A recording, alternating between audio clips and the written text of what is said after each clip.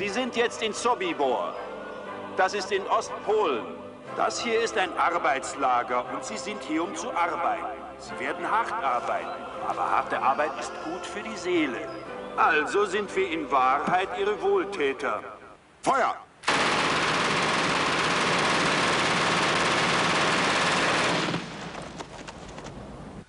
Ich habe die Duschräume gesehen.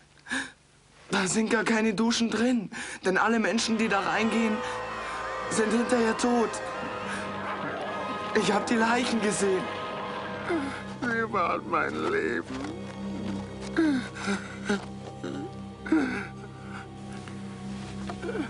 Wir müssen hier raus. Wir müssen hier raus.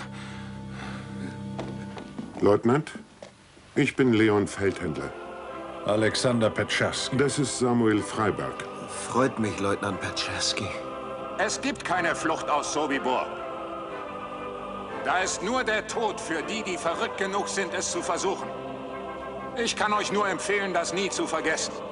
Wir arbeiten für Sie und wir werden vielleicht überleben. Und wir überleben nur für ein Ziel. Rache. Das Problem ist, wir sind, wir sind keine Soldaten. Wir können nicht einfach Hunderte zurücklassen zum Abschlachten. Und das würde geschehen. Deshalb brauchen wir einen Fluchtplan für alle Gefangenen in Sobibor. Wir müssten einzeln an sie herankommen und einen nach dem anderen töten. Innerhalb einer Stunde. Kannst du in deiner Werkstatt Messer machen?